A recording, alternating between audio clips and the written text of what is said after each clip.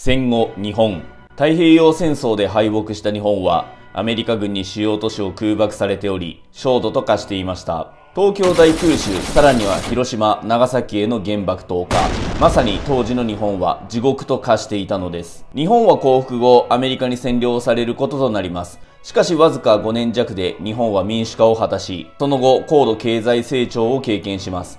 そして世界第2位の経済大国となるのです。まさに日本の辿ってきた復活の道は奇跡とも言うべきものでした一体日本に何が起きたのでしょうか？こんにちは、まさとです。日本は敗戦後、世界でも類を見ない復活劇を果たすことになります。この動画ではその復活の過程である日本の民主化と国際社会への復帰の歴史を見ていきます。この動画をご覧いただければ高校の戦後日本史を攻略することができますが一般の方も戦後の日本に何が起きたのか自分が実際に経験したかのように理解できるようになるはずです。日本は1945年に太平洋戦争に敗北しました。まず戦時中の構図を確認しましょう。こちらの陣営が数軸国です。一方これに対するのが連合国です。アメリカ、イギリス、フランス、中国、ソ連などが手を取り合って数軸国に対抗していたんですね。日本はアメリカ、イギリスと直接戦っていました。この戦いが太平洋戦争というわけです。さらに日本は太平洋戦争をやりながら中国とも戦争をしていました。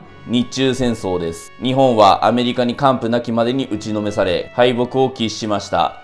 結果的に数十国は戦争で敗れ、日本は連合国、もう少し言うとアメリカに占領されることになったのです。敗戦後、すぐに日本の内閣総理大臣になったのは東国宮成彦です。彼は皇族の出身で非常に身分の高い人物でした。彼の役割は言うまでもなく敗戦の処理です敗戦の処理は誰にでもできるような簡単なものではありませんまず日本は絶対に勝つ。敗北は許されないと考えている軍人たちを戦場から引き上げさせなくてはなりません。敗北したから引き上げろと言われても中途半端な能力の人物の言うことは聞きません。皇族である東国宮成彦が天皇の代弁者として説得に当たれば維持になっている軍人たちもさすがに東国宮さんだからということで言うことを聞く可能性が高いです。なので東国宮は敗戦処理そして武装解除の任務を汚れ役ということで行うのです。日本軍を引き上げさせた後日本は正式に降伏文書に調印することになります。1945年9月2日のことでした。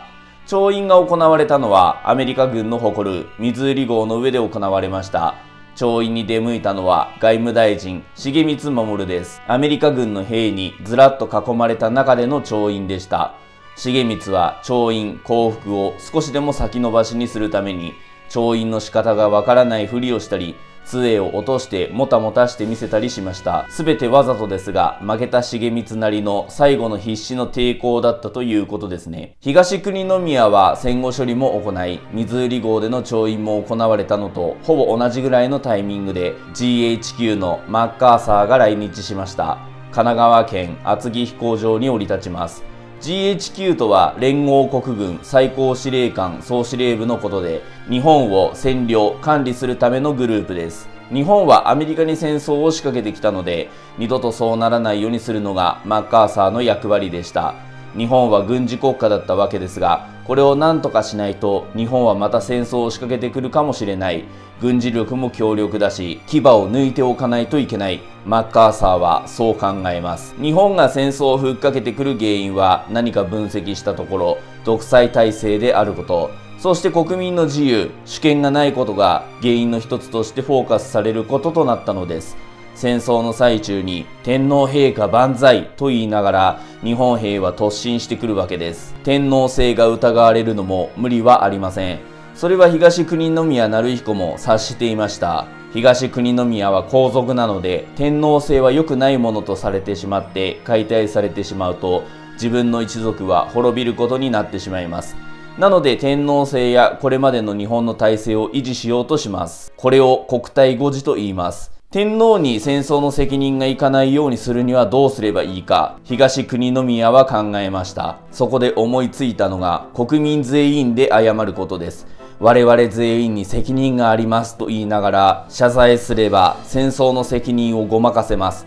誰が悪いとかではなく、みんなが悪いんですっていうのを国外にアピールしようとしました。日本国民全員で謝ります。これが一億総懺悔です。軍官民、国民全体が徹底的に反省し、懺悔しなければならないと発表したわけです。しかし、そんなことを言われても GHQ は納得しません。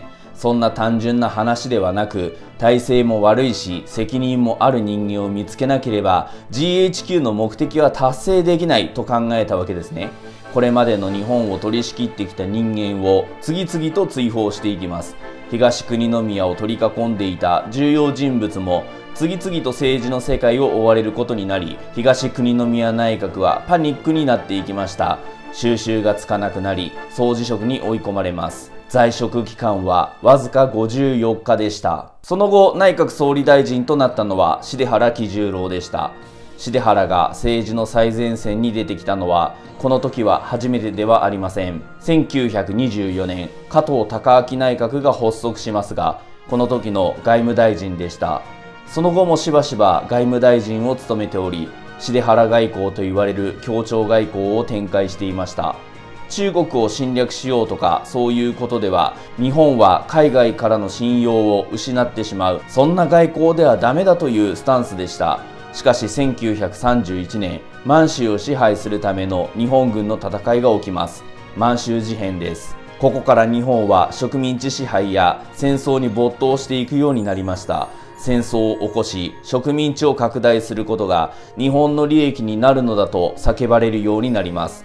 協調外交を展開する重原はだんだん受け入れられなくなり政治の世界から干されることとなりしばらく政治の最前線には出てこれない状況となってしまいました。しかしここで復活を遂げるのです。重原は平和的な外交の実績があるので GHQ も信頼していたのです。また日本政府も天皇制の維持とか軍国主義者とかそういった人物ではなくて平和的にやっていける協力的な総理を立てるよう圧力をかけられていました。もはや重原しかいないだろうということになったのです。重原は内閣を結成すると、早速五大改革指令を言い渡されます。5つのことを改革せよというのです。まずは婦人の解放です。これまで選挙に投票行ける人の条件は25歳以上の男子でした。女子が行けないのはおかしいではないかというのです。女性が投票に行けないということは男性が支持する人物ばかりが選挙で当選してしまいます。女性の意見が通らない社会を変えなさいと指令が下ったのです。そして女性も選挙に投票に行けるようになっていきます。女性が選挙に投票に行けるようになること政治参加ができるようになることを婦人参政権と言います。さらに GHQ が指示したのが労働組合結成の奨励です。労働組合とは会社の社長などの投資家に対抗するために作られる労働者のグループです。みんなで資本家に抗議しようぜグループということですね。資本家は労働者を雇って会社で働かせます。しかし会社が大儲けしても労働者の給料は安いです。社長としては安い給料で長時間働いてもらった方が会社の利益となるからです。そのくせ社長は大して体を使って働いていないのに利益をがっぽりと懐に入れてしまいます。労働者の生み出した利益を独り占めしているような状況なのです。労働者が一人で資本家にお前ばっかり高い給料をもらってないで俺らの給料上げろって抵抗したとしても勝てるはずがありません。なので労働者は労働組合を結成して働く条件を良くしてくれなかったらみんなで会社辞めるからなと抗議するわけです。そうすれば資本家もそれに応じたり労働者の働く条件を改善しようとするわけです。なぜこういうものを作れと GHQ が指示をするかというと社会主義革命が日本で起きることを恐れているからです。社会主義とはみんな平等な世の中のことで給料はみんな一緒です。資本家ばかりがいい思いをしていると労働者が平等な社会を実現しろという感じで革命を起こして政府を転覆させるかもしれません。実際そういう国はすでに存在していました。ソ連です。ロシア革命で世界初の社会主義国となった国です。第二次世界大戦後社会主義国ソ連とアメリカの仲は明らかに悪くなっていました。日本が社会主義になったらソ連の味方になってしまうかもしれません。それは避けたいので、労働組合の結成を奨励して革命を未然に防ごうとしたのです。次にマッカーサーが指示したのは教育主義の改革です。天皇陛下万歳アメリカは鬼畜とか言っている日本人ばかりでは日本が復活した時にアメリカに再び戦争を仕掛ける可能性があります実際教育の場で日本の子供たちはそのように教育されていました。これはよろしくないのでまともな教育をしていこうとなるわけです。そして教科書も改変されていきます。ただ新しい教科書を作る金もないので子供たちの教育にふさわしくないところは今までの教科書をそのまま使って墨塗りにして塗りつぶして見えないようにしていきました。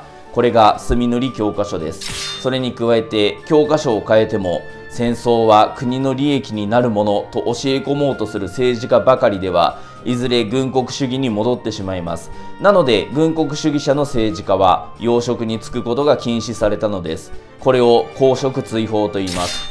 このような教育の自由主義改革が行われていったのです。そして4つ目です。それが圧政的諸制度の廃止です。具体的には秘密警察や治安維持法の廃止を指示しました。日本は道端とかで今の政治はいただけないとか社会主義の方が今の体制よりマシじゃないって話をしただけで逮捕されるといった状況でした。そんな状況では政治に対する批判は何一つ起きません。そうすると批判されないのをいいことに政治家は自分らの利益になることばかりするようになります。今の北朝鮮の独裁体制のような人物が出てきたら困るのです。なので秘密警察や社会主義者を取り締まることができる治安維持法を廃止させたのです。そして最後は経済の民主化です。実は戦前日本は財閥といった大企業が政治家に働きかけて戦争を推し進めた歴史があるのです。戦争は財閥にとって儲けになるのです。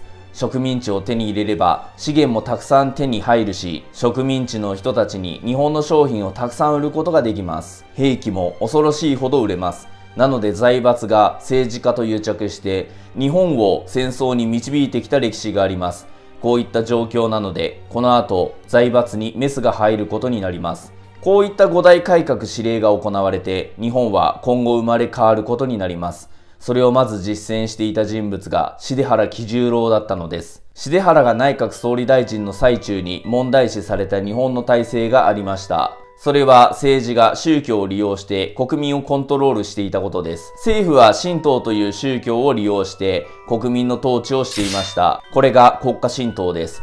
古事記や日本書紀といった日本の歴史書には天皇は神の子孫という記述があるのです。神道にとっては自然や先祖は基本的に神になる宗教です。なので当然、天皇の先祖も古事記や日本書紀には神として描かれています。しかし政府はこれを利用して、日本の歴史書に天皇は神の子孫と書かれている。だから天皇陛下は神なんだと国民に教え込んでいくんです。なので天皇のためなら戦死しても構わない。これが日本の戦争を推し進める原因になったのだと考えられてしまうのです。国家神道は解体されることになりました。これが神道指令だったのです。そして天皇が人間宣言を行うわけですね。私は神ではなくあなた方と同じ人間ですと宣言するのです。こうして少しずつ日本の軍国主義の原因になった考え方を修正していくことになります。そしてさらに徹底させるべく戦争を起こした犯人を見つけ出して処罰することで再びの悲劇を繰り返さないようにしようと考えます。そこで行われたのが極東国際軍事裁判でした。別名東京裁判です。さすがに第二次世界大戦で世界は最悪レベルの被害を受けました。もう戦争はするべきではないということに世界は気づき始めるのです。戦争を防ぐためには戦争はしてはいけないものという共通認識を世界に植え付けなければなりません。なので東京裁判が行われることになります。いわばこれは吊るし上げなのです。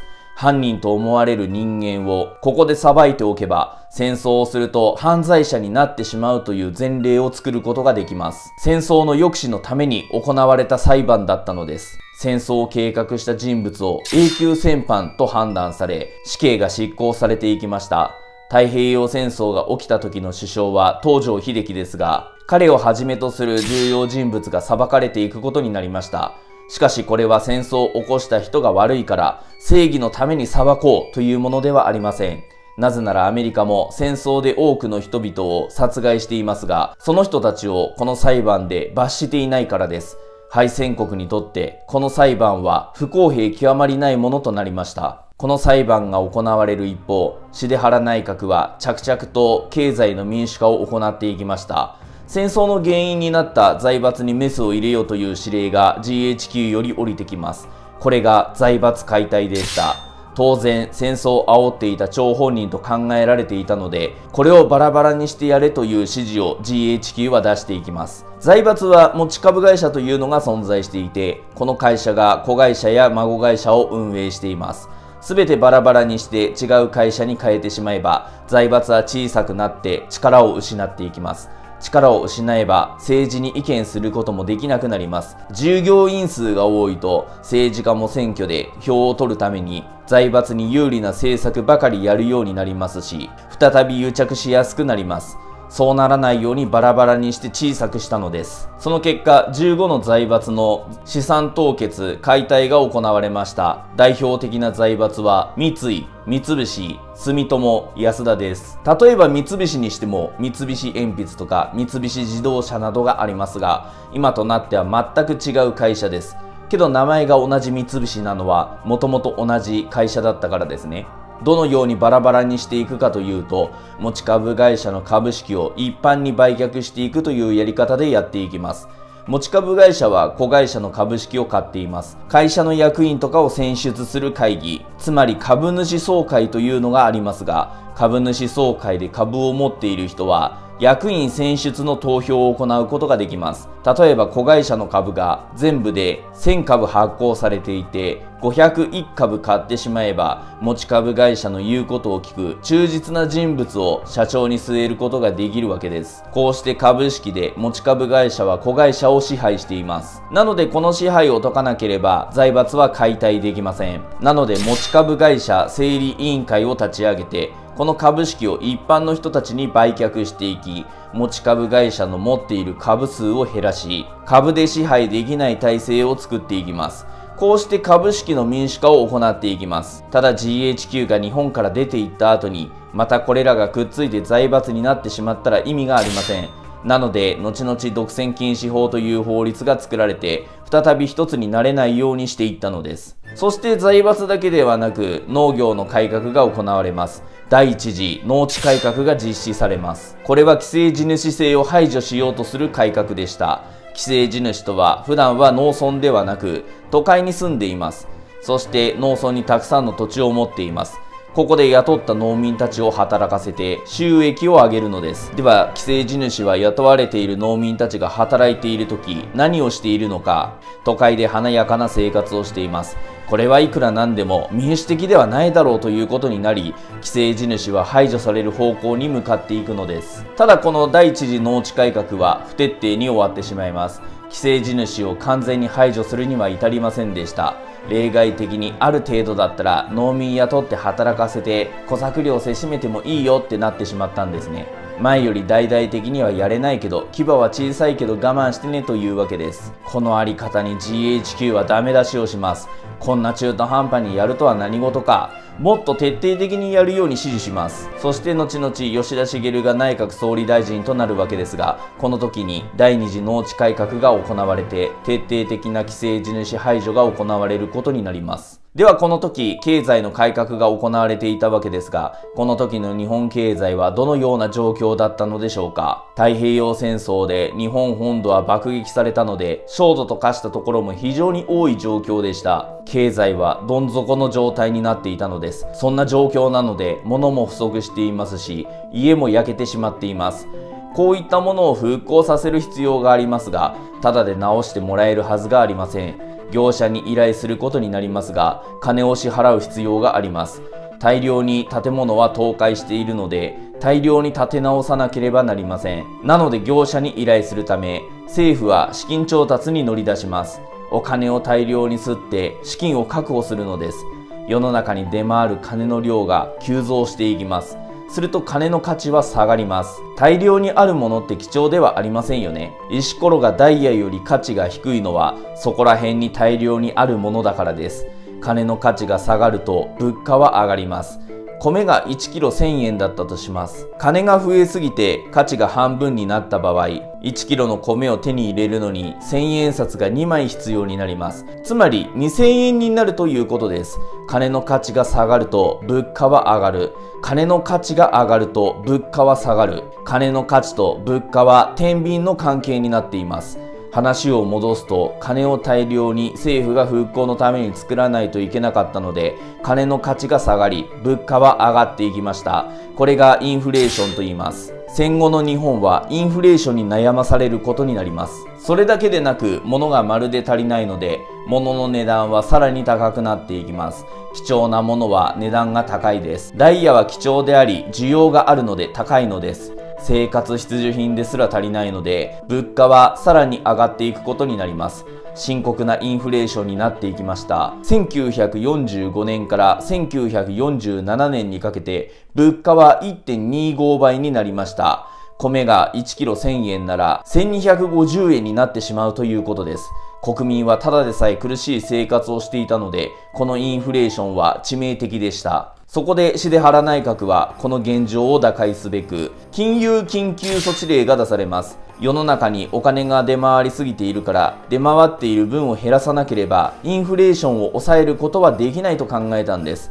なので預金封鎖を行いました。金を1ヶ月500円までしか下ろせないようにしたんです。これが金融緊急措置令でした。このままじゃ金が下ろせなくなるぞ。これで社会はますます混乱していきます。国民は銀行に殺到し、逆に預金封鎖される前に金を下ろそうとしたのです。みんなが一気にお金を下ろしに来たので、余計に世の中に金が出回ることになりました。結局これは失敗に終わります。そして1945年から1949年にかけて物価は70倍になっていきました。1キロの1000円の米が7万円になるような状況です戦後の日本経済は極めて苦しい状況だったのですこうした改革が実施されるわけですがこの改革とともに中断されていた通常の選挙が復活していくことになります選挙が再び実施されるので政党が再び復活していくことになります。どのような政党がこの時代には登場したのでしょうか。まず代表的な政党として日本自由党が再結成されます。この政党は旧立憲政友会系、そして旧立憲民政党系の日本進歩党。この政党は伊藤博文以前の政党であり、とても伝統のあるグループです。さらに日本共産党も登場。中心人物は徳田久一であり、社会主義革命を起こそうと活動します。これまでの日本では社会主義者を弾圧していたので、共産党は設立が合法で許されませんでした。しかし戦後になり、アメリカによる自由な風潮が日本に入ってきたので、合法政党として活動を開始することになります。そして日本社会党も登場。この政党は無産政党です。無産政党とは、労働者や農民などの味方をする政党ということです。この政党の中心人物は片山哲です。この4つの政党が新体制の国会で激突することになっていくのです。その初陣は1946年の選挙だったのです。この時の選挙は選挙に行ける人の条件は変わっていました。25歳以上の男子から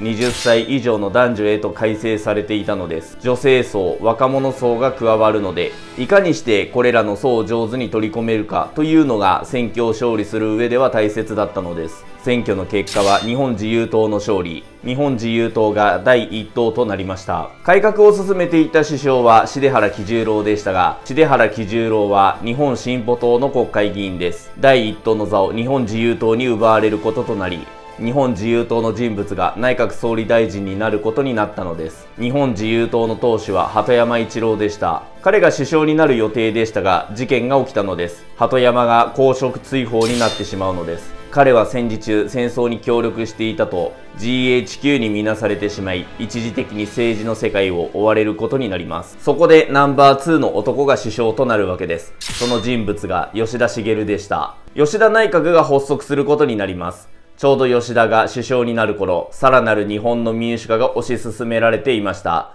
GHQ から大日本帝国憲法を改正せよと指示されていたのです。そこで新しい憲法をどういったものにしていくのかを検討していく組織が結成されます。これが憲法問題調査委員会です。新しい憲法の草案を作成するリーダーは松本ジョージでした。ただ松本ジョージの作った新しい憲法草案はあまり大日本帝国憲法と変わり映えしないものでした。天皇が日本を統治することを相変わらず認めていたのです。当然マッカーサーはこれを却下、作り直しを指示しますが、満足いくものが作られません。松本の作る憲法草案は民主的なものではなかったのです。ここでマッカーサーが痺れを切らし、新しい憲法草案を作ったのです。この憲法草案が国会で話し合われ、日本の新憲法として認められるのか協議していきました。その結果、満場一致でマッカーサーの憲法草案を正式に日本の憲法にすることが決定されたのです。これが現在の日本国憲法です。日本国憲法はところどころ不自然な日本語で書かれていますが、それは英語を日本語に訳しているからなのです。なぜこの時、日本国憲法が議員たちに支持されたかというと、国会をアメリカ軍に包囲されていたからです。自分たちの意思とは無関係に賛成するほかなかったわけですね。吉田茂が首相となった頃、すでに日本国憲法は成立していました。1946年11月3日に憲法は公布され、1947年5月3日に施行されています。交付とは国民に憲法は変わりますので把握よろしくとお披露目された日のことです。11月3日は文化の日になっています。そして思考とは実際に日本国憲法が使われ始めた日のことです。5月3日は憲法記念日となっています。日本国憲法の中で重要な項目は3つあります。これを三原則と言います。まず1つ目が国民主権です。今まで天皇だったけど、これからは日本国内で最も偉いのは国民であるということです。天皇はどうなったかというと、象徴となりました。ピンとこないかもしれませんが、象徴とは日本の顔役ということですね。挨拶をしたり、国民を励ましたり、そういうことをするのです。政治を直接やっていく権限を剥奪したんですね。GHQ は天皇制を廃止することを真剣に検討していました。しかし、残すことにしたのです。なぜなら日本国民は天皇のことを慕っていたからです。アメリカとしては日本が戦争を再び喧嘩を吹っかけてこないようにしたいわけです。天皇制を潰したら日本人の反感を買うだろうということで形は残すことにしたわけです。そして2つ目の三原則ですが平和主義です。日本は二度と戦争をしないということですね。そして3つ目が基本的人権の尊重です。人は生まれながらいろんな権利を持っていると欧米では考えられています。人は自由だし平等なんだと考えられています。そうした人が生まれながら持っている権利を基本的人権というわけですが、それを大切にしようというわけです。第一次吉田茂内閣の時に日本国憲法が施行されたので、日本の仕組みは大きく変えられていくことになります。まず民法が一新されました。新民法が制定されていきます。この新憲法のもと、戸主制度は廃止され、男女同権の家族制度が導入されていきます。戸主制度はお父さんや長男が偉いというものです。日本国憲法で基本的人権の尊重が保障されているんだから、平等じゃなきゃダメだろうということなんですね。家の中でも男性が偉い傾向にありましたが、これも平等になっていきます。そして不敬罪も廃止になります。天皇を侮辱したら逮捕でしたが、これも廃止ということです。そして大きく変わったのは地方自治法です。首長が公選制になったのです。首長とは簡単に言うと都道府県知事や市長のことです。これまで首長は中央政府が選んでいました。これからは首長は住民による選挙で選ばれることとなったのです。さらには労働者を守るための法律も整えていきます。労働三法というものを制定していくんですね。まずは労働基準法です。これは労働者を働かせすぎないように、これくらいまでに労働は抑えていきましょうというものです。例えば労働時間は8時間、週40時間までって感じで決められています。この決められたラインを超えて、労働者を企業は働かせてはいけないのです。けど守られない場合があったり、守っていても給料が安かったり、ブラック労働させられたりすることもあります。この時は労働者としても企業の方に労働環境を改善してくれと要求したいところですが、要求したところで仕方されたり、クビにされたりする可能性もあります。なので労働者は労働組合を作って企業にもっと働きやすくしろ、給料上げろと要求するのですが、組合作られたらうざいなってことで圧力がかけられて組合を解体させられたりしたら労働者としても非常に厳しい状況に置かれてしまいますね。なので組合作るの OK、解体させちゃダメというルールを作ります。これが労働組合法です。そして労働者と企業の間で話にまとまりがつかなくなることもあります。そういう時は解決するためのシステムをちゃんと国が用意することになりました。これが労働組合法です。こういった労働者を守るための法律がたくさん作られていきました。そして教育の民主化も行われます。戦後日本の教育はこのようにやっていくぞという方針を政府は新たに打ち出しました。これが教育基本法です。戦前までは天皇は神だとか女性よりも男性の方が上だとか教えられていました。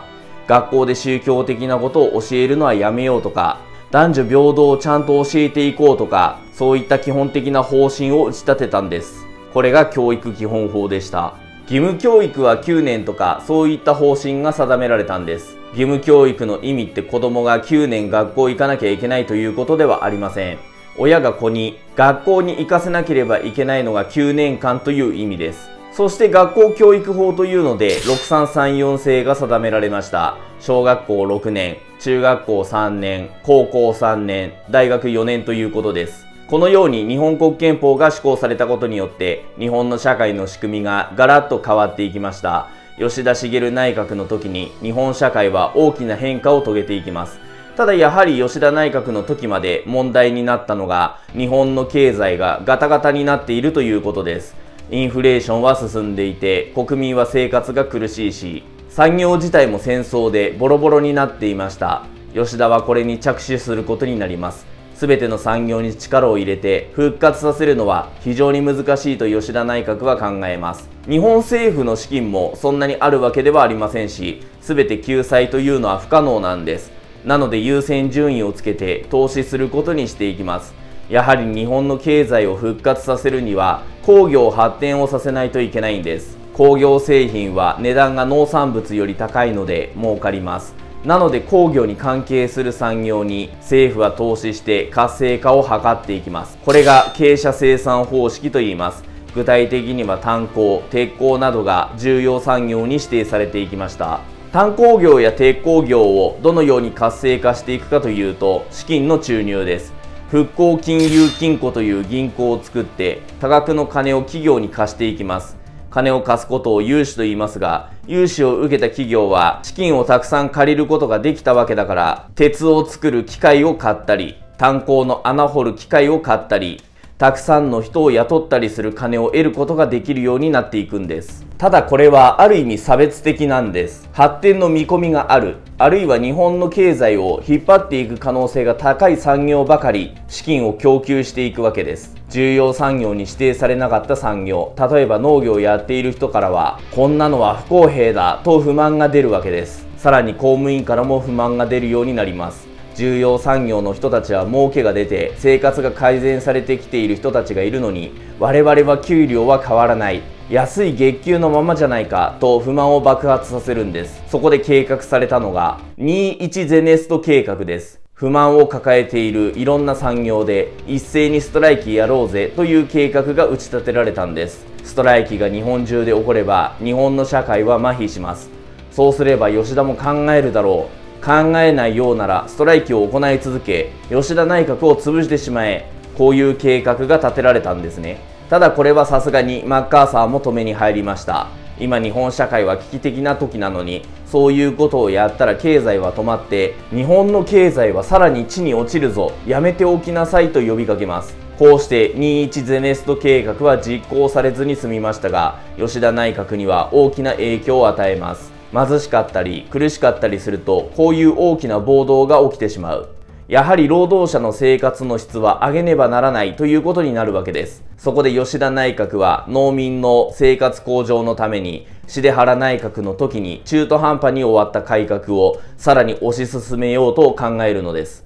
それが第二次農地改革です。農地改革とは農村に土地をたくさん手に入れて農民雇って安い給料で働かせる既成地主を排除しようとしたものです。第一次農地改革が重原の時に行われました。これからは農民雇って働かせるようなことはするなとしたわけですが第一次農地改革の時には例外を認めていたわけです。少しだったら農民雇って働かせて OK。土地持ってない農民に土地をレンタルして働かせて OK。このようにしていたわけですが、これを許してしまっていたので、農地改革は中途半端なことになってしまいました。中途半端にやらず、完全に農民を既成地主の土地で働かせるのはダメってことにしようということになったのです。これが吉田茂の第二次農地改革でした。実際に第二次農地改革を推し進めるためにもう農民に土地レンタルしてそこで働かせまくったりするのはダメですよという法律を作っていきます。これが自作農創設特別措置法です。そして農地委員会が既成地主の土地を格安で買い上げていき既成地主に働かされていた農民たちに土地を売っていくのです。こうして既成地主はいなくなり農民は全て土地持ちの農家となっていくのです。こうして様々な改革を断行した第一次吉田内閣に試練が訪れます。1947年の選挙でした。選挙を行った結果、なんと片山哲率いる日本社会党が第一党となったのです。第一次吉田内閣は敗北し、新たに片山内閣が誕生することになりました。この結果には、吉田自身も驚きました。まさかの勝利だったのです。なので片山は首相になったのはいいものの、日本をこうしていくといったビジョンや政策を示すことができなかったのです。ひたすらマッカーサーの言いなりになり、マッカーサーに指令されたことばかり実践していきます。財閥解体をさらに推し進めたり、公正取引委員会を設置したりしました。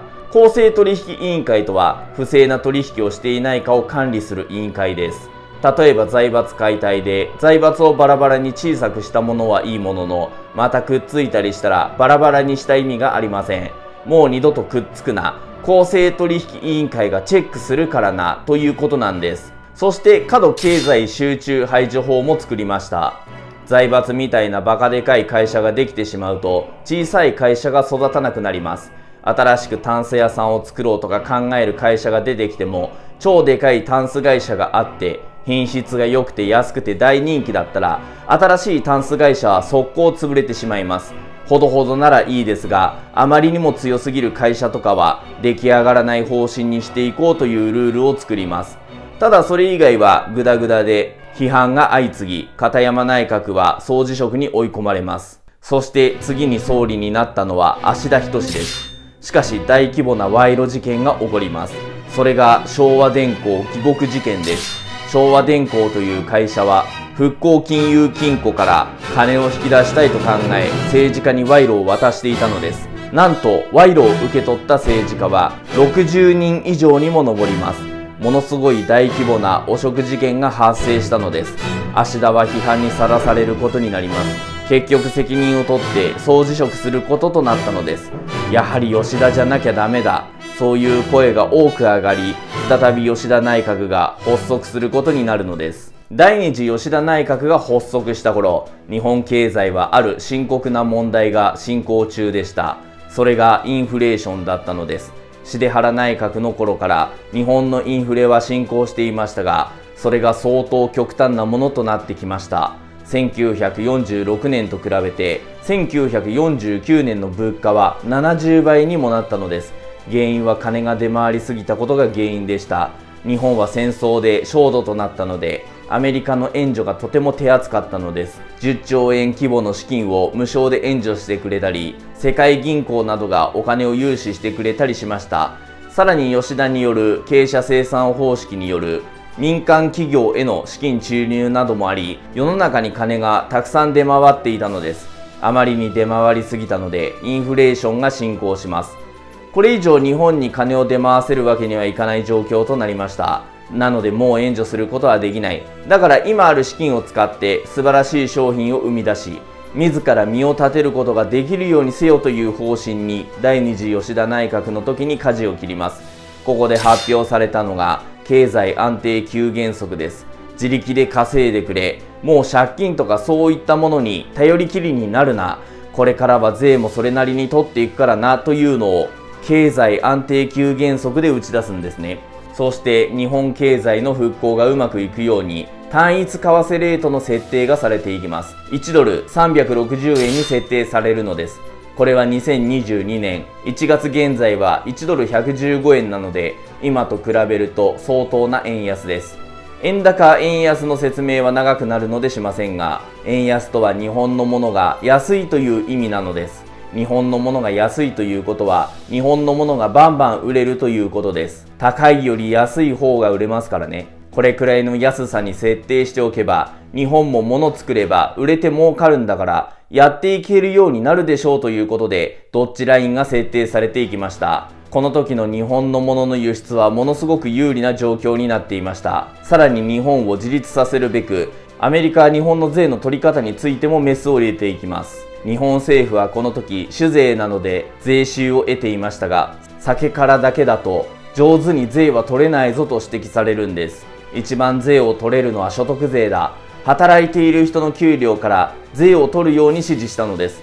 これがシャープ勧告です。アメリカ人のシャープが出した勧告なのでこういう名前がついているわけです。国も国民からそれなりに税を取れないと国の運営が厳しくなるでしょう。だからしっかり取れるところからは取りなさいということなのです。アメリカは日本が自立していくよう手を加えていくわけです。吉田内閣もこれに応えるように手を打ちました。その結果戦後の課題だったインフレは収束していくことになります。うまくいったと思った矢先でした。新たな問題が発生します。不況です。これまでの日本経済は資金を援助してもらったり、融資をしてもらったりしていました。至れり尽くせりだったのです。急に自立に舵を切られたので、ついていけない、対応できない企業も多く出てきたのです。今までのように援助も降ってこないし、融資も得られない。手元に資金がなくなる企業も多く出てきて、倒産が相次ぎました。そしてリストラなどが日本各地で行われることになったのです。不況となり、リストラが横行したことに不満が爆発。労働組合が立ち上がり、抗議するのです。その後、様々な怪事件が頻発するのです。1949年7月5日朝、国鉄総裁、下山貞則が勤務途中に失踪。翌日、歴史体となって発見されます。これが下山事件です。さらに7月15日、無人列車が暴走する事件が発生。これが三鷹事件です。この2つの事件はなぜ起きたのか、犯人は誰なのか分かっていません。そして8月17日、松川事件が起こります。これも日本国有鉄道で起きた事件で突然列車が脱線し転覆した事件でした。これも犯人は分からず未解決事件となります。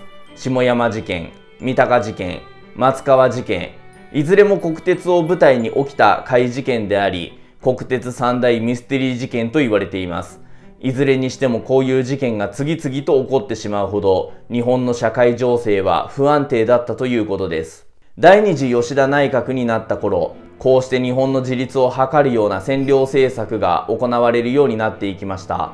実は GHQ の占領政策は明らかに日を追うごとに変わってきていたのです。初期の占領政策は日本を無力化するようなものがほとんどでした。日本は戦前、軍事国家であり、強大な力を持っていました。その上植民地を拡大させるような政策をとってきており、アメリカにも戦争を仕掛けていました。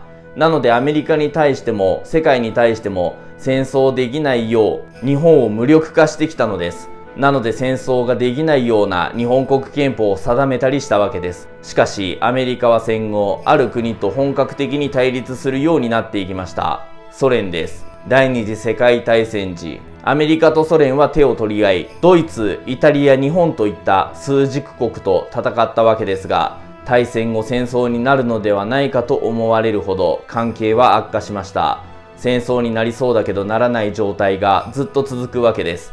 これが冷戦でした。この冷戦が本格化、表面化した事件が起こりました。ベルリン封鎖です。ベルリン封鎖の成り行きを説明します。ドイツは敗戦後、東西を2つに分割されていました。西ドイツ、東ドイツと分割されて統治されてしまっていたのです。そして首都ベルリンは東ドイツにありましたが、これも分割されていました。西側はアメリカ、東側はソ連が統治することになります。それで西ドイツからベルリンの西側はアメリカの統治する範囲になっているわけですけど、ここの間に経路があって行き来できるようになっています。アメリカと関係が悪化したソ連は一発アメリカをしばくためこの経路を封鎖したのです。これがベルリン封鎖でした。するとベルリンは都市部なので西ドイツから物資を運べなくなります。ベルリンの西側の人々が生活がままならない事態となりました。この危機的状況にアメリカは空輸で対抗します。ヘリでヨーロッパにあるあらゆる空港を使って食べ物を空から落としていきます。これを100日以上続けるわけです。とんでもない資金が必要になります。しかしアメリカは平気でこれをやってのけるのです。今戦っても勝ち目はないと判断したソ連はベルリン封鎖を解除して撤退していくことになります。ただここで明らかになったのは今にも戦争を始めてしまいそうなほどアメリカとソ連は関係が悪化していたということです。アメリカもベルリン封鎖でソ連が明らかに敵対するような動きを見せたのでアメリカもソ連との戦争の準備を始めていきます。アメリカは資本主義国を集めてソ連に対抗しようと同盟を作っていきます。これが NATO です。別名北大西洋条約機構と言います。このアメリカチームのことを西側陣営とも言います。ソ連はとんでもない国だ。我々同じ資本主義同じ価値観を持っている国々で集まって対抗してソ連を封じ込めようと表明したんです。これがトルーマンドクトリンと言います。封じ込めるぞという政策のことですね。けどアメリカに俺の味方につけよって言ってもヨーロッパの西側諸国はアメリカと関わって戦争に巻き込まれたらたまったものではありません。なのでアメリカも味方にしていく用意をしていたのです。ヨーロッパは第二次世界大戦の舞台になった地域で大きなダメージを受けていました。アメリカ側についてくれたら経済援助をする用意があると表明するんです。これがマーシャルプランです。アメリカの国務長官マーシャルがこういった表明をしたんですね。それならアメリカの味方につくっていうことで西ヨーロッパ諸国はアメリカサイドにつくことになるわけです。ソ連もソ連で黙っていません。このまま封じ込められたら包囲されたらたまったものではありません。なのでソ連も味方を作っていくことにします。まだこの時は社会主義の国はほぼありませんでしたが世界に社会主義国の国を作り出して自分の陣営にしようとしたのです。世界各地にはソ連のような社会主義国を作りたいと考える人々はたくさんいました。各地に社会主義革命を起こしてやろうというグループがあるのです。これが共産党です。日本も東ヨーロッパにも中国にも東南アジアにもありますこの共産党を支援して革命を起こさせ社会主義国家を世界にたくさん生み出そうと考えましたこの共産党を支援していこうというものが都民フォルムでしたそして次々と世界各地に社会主義国が生まれます北朝鮮や中国、ポーランドやチェコスロバキアがそうですね。そして社会主義国で集まって NATO に対抗することにしたのです。NATO に対抗しようという同盟がワルシャワ条約機構です。このようにアメリカ・ソ連の対立は深刻なレベルで深まっていました。アメリカは日本を無力化させることを考えていましたが、ここで方針転換するのです。無力になるのではなく、戦力を持ってアメリカの味方になってほしい。そしてもう面倒は見ていられないので、自立してソ連に対抗するのに手を貸してほしいと考えるようになっていくのです。なので途中からアメリカは日本を自立させるような方針や指令を多く出すようになるのです。そして日本の近くでも大きな動きが起こります。これが日本に大きな影響を与えることになっていきます。中国の動向です。第二次世界大戦より少し前中国国内は内戦状態にありました。政権を握っていたのは中国国民党の蒋介石でした。それに対抗していたのが共産党の毛沢東です。この両者が対立し内戦状態になっていたのです。こんな状況の時に日本軍が中国に攻めてきました。内戦している状況ではなくなり国民党と共産党は手を取り合って日本と対抗することにしました。これが抗日民族統一戦線です。日本が戦争で敗北することになり中国から撤退していくと国民党と共産党の第2ラウンドが始まりました。この戦いは中国共産党が勝利毛沢東が権力を握ることとなり1949年中華人民共和国が建国されました。そして社会主義国となりソ連に援助をしてもらいながら国家運営をしていくことになるわけです。一方国民党は台湾へと逃げていきます。そして国民党を率いる中華民国は台湾で存続することになります。なので今でも台湾は中華民国なわけですね。なんか国なのかそうじゃないのか微妙なことになっていますがそれはこういう歴史的経緯があったからなのです。どちらが本当の中国なのかわからない。そしてお互いが私が本当の中国であると主張し合っているわけです。そして朝鮮半島でも大きな動きがありました。1910年から朝鮮は日本に併合されていましたが、1945年日本が戦争に敗北し、朝鮮から出ていくことになりました。そしてその後朝鮮は独立というわけにはいかず、アメリカとソ連に半分こされて統治されることになります。そして南が大韓民国、北は朝鮮民主主義人民共和国、別名北朝鮮です。ある時、1950年、北朝鮮が突如、韓国に攻め込んできたのです。ここで始まったのが朝鮮戦争でした。突然の攻撃によって韓国の大部分は制圧されていきます。緊急事態だということでアメリカ軍が出動します。やはりアメリカは最強の国ということもあって、アメリカが参戦した途端、北朝鮮は一気に押されることになります。北朝鮮サイドのソ連はここで中国に朝鮮戦争に参戦するよう要請されます。しかし中国は長引く戦争で国土は荒廃し、しかもアメリカに対して戦いを挑むことなどしたくはありませんでした。しかしソ連にご利用しされて、朝鮮戦争に参戦することになります。北朝鮮側として朝鮮戦争に参戦することになりました中国の人民解放軍が参戦することになります。しかしアメリカは強く中国は苦戦を強いられました。結局戦争の決着はなかなかつかずあまりに悲惨な戦いとなったので停戦することになっていきました。国境線は38度で決定することになります。ただ朝鮮戦争が起こることによって日本に急展開が起こるのです。この朝鮮戦争が起きている頃、韓国が北朝鮮に押されている時にアメリカは相当に焦っていました。韓国の応援に行きたくてもアメリカ本土からだと朝鮮半島は離れすぎているのです。ここでアメリカが着目したのは日本の立地です。日本と朝鮮半島はものすごく近いです。ここからアメリカ軍を出動させれば戦えると判断したんです。さらには日本にも協力してもらいたいし、戦争でアメリカはいっぱいいっぱいなので、自主的に協力してもらおうとしたわけです。ただアメリカ軍が日本にいること、そして日本がアメリカに協力していることを考えると、ソ連が日本を敵とみなして攻撃してくる可能性があります。もし日本がソ連に攻められて、日本を占領されてしまったら、アメリカにとってはたまったものではないわけです。せっかく朝鮮半島、中国、ソ連の近くに、日本というアメリカの拠点になるような場所があるのに、これをソ連に取られてしまったらたまったものではないわけです。なので日本に武装させることにしたんですね。この時の内閣総理大臣は吉田茂でした。吉田茂自身は軍隊を持ちたくないと考えていました。なぜなら日本国憲法で平和主義を掲げていますし、日本国憲法9条には陸海空軍その他の戦力はこれを保持しないと規定されているのです。アメリカの都合で軍隊を持つのはいかがなものかとも思いますし、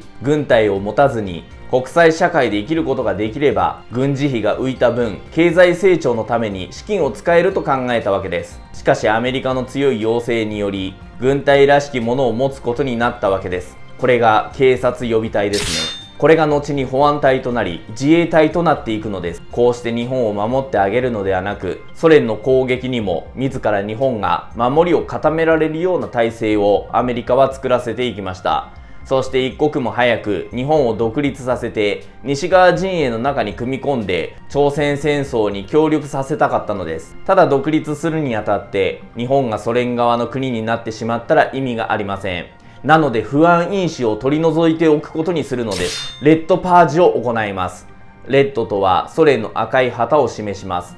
つまりソ連型の社会主義国を実現しようと考えている人物を追放して確実にソ連側に日本が行かないよう手を打っていくのです。共産党系の幹部を公職追放するレッドパージが行われました。こうして確実に西側諸国の方に引き込める体制を整えたので、アメリカのダレス国務長官が主導となって、講和条約の草案を作っていくことになります。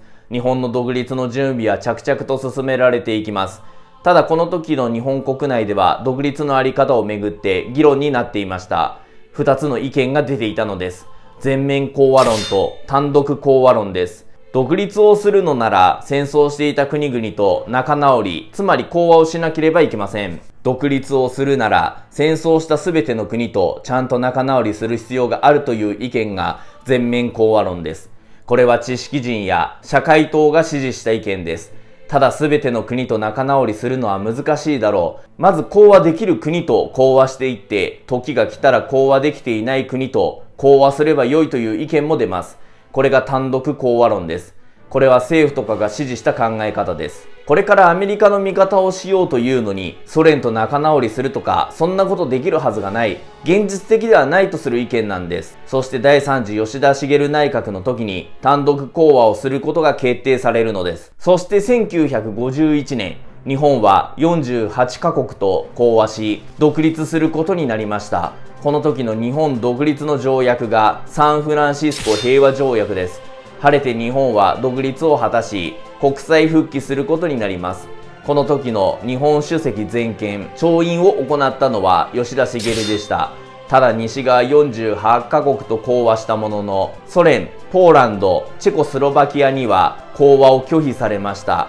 これらの国々は社会主義だからです。ソ連の陣営なんですね。アメリカの味方をする日本とは講和できないと拒否されたわけです。ただ独立するなら、やはり戦争の落とし前はつけなければなりません。東南アジアを太平洋戦争の主戦場にしてしまったので、東南アジアには多額の賠償金を払うことになりました。ただアメリカはアメリカに対しては賠償金は支払わなくて良いと言ってくれたんです。こうした動きは日本の経済復興に大きくプラスに働いていくことになりました。そして日本の領土についての取り決めです。日本は戦前、朝鮮、台湾、南カラフト、千島列島を支配していました。朝鮮、台湾、南カラフトはもともと日本の領土ではないので放棄することになりました。千島列島はソ連に支配され続けることになります。これが北方領土です。さらに沖縄、奄美、小笠原はアメリカの占領状態が続くことになります。もう一度確認しますが、日本が独立を果たした時は1951年です。この時、朝鮮戦争は続いています。アメリカは日本のために独立させたわけではなく、同盟国に引き込んで協力してもらいたいから独立させたのです。それを形にした条約がサンフランシスコ平和条約が結ばれた同じ日に結ばれることになりました。それが日米安全保障条約です。これはアメリカ軍を日本に駐留させろというものです。東アジアと日本の平和安全のために駐留させろというんですね。これは名目であって朝鮮戦争もっと言うとソ連との冷戦のために駐留させて欲しかったわけです。日本はソ連や朝鮮半島に近いので日本に米軍を置いておけばすぐに出撃できるからです。ただそれと同時に日米行政協定が締結されました。米軍に基地を提供せよという協定です。こうして日本に米軍は駐留することになったものの、約6年間で焼け野原から独立まで果たしていくことになったのです。その後日本は高度経済成長を果たすことになり、世界第2位の経済大国へと上り詰めました。その独立、繁栄のきっかけになったのは、皮肉にも朝鮮戦争だったのです。何百万人という命が隣国で失われるのと引き換えに、日本は独立繁栄を得ることになっているのです。今回の解説は以上です。ぜひ別の動画もご覧ください。チャンネル登録もぜひお願いします。それでは別の動画でお会いしましょう。